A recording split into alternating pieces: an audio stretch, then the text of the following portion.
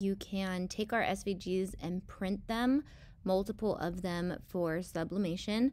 I'm going to use Canva because it makes it super easy to manipulate and change anything that I want to do. So I just started by creating a design and I changed the dimensions to inches right here. And I put 13 by 19 because I have the 13 by 19 printer. If you have just a regular 8.5 by 11, you can do that. I use that one a lot. Um, but I'm going to do 13 by 19 just so I know that I can make sure I print all of these exactly how I want them. So I'm going to create a new design. I'm also going to label this um, baby sublimation because I am doing a bunch of little blanks. So I am going to go to uploads and I'm going to upload media and I've already downloaded all the ones that I want from the website. So right now I'm actually doing all of the animals and imagination characters from the website. And the bundles work really good for this. So I really want this Lost Boys one. I'm just going to show you with a couple and then I'm going to go ahead and finish this without recording all of it. But I just wanted to get this on the interwebs. Okay, so when you import an SVG, um, most of the time it comes in and you can manipulate the colors.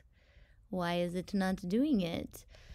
Well, I like the I like the colors on this one. So let me see if I upload just a more basic one. If the colors, let's see, I think Skater Mickey has individual ones. So let me just open Mini and see what happens if I do that.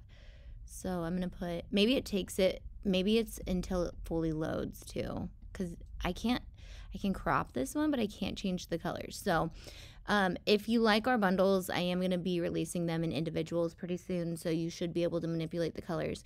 One thing you can't do in Canva is pattern fill, so I don't necessarily like to make my sublimation in here, um, but I do like to play with sublimation and how to print it. So um, now that you can see that this one's more simple, it's actually allowing me to change the color. So if I wanted to sublimate this in pink, then I would change it to pink.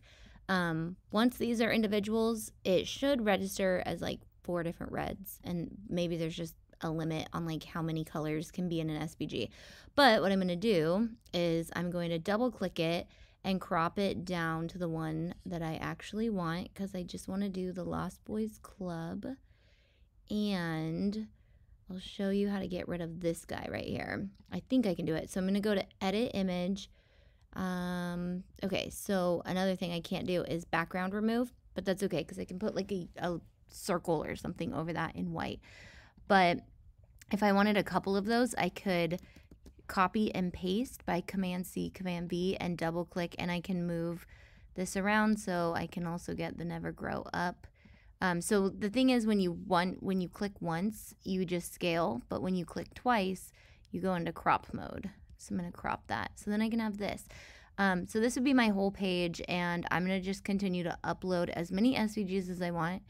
Um, let's just, I want to show you what a multiple layer SVG looks like when you upload it. Let's see if I have one. I think this one's two layers, even though it's all black. Let's hope. So I can show you.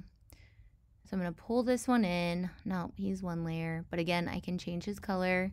And then when I print him, it can come out in different colors depending on what I'm putting him on. Um, again, also black is great because sublimation black is really cool. Let's go back to downloads. I really just want to show you guys one. Okay, here we go. Shark bait hoo ha ha.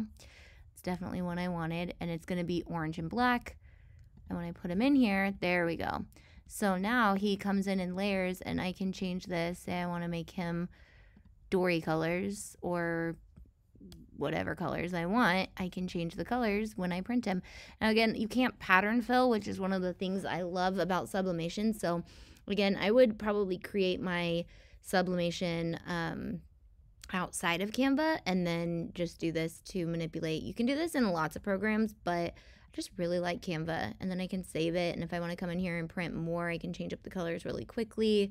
So I just really, really like Canva. If you guys want more Canva, um, tutorials or anything like that, just let me know and I will gladly make those for you. Love you guys. Bye.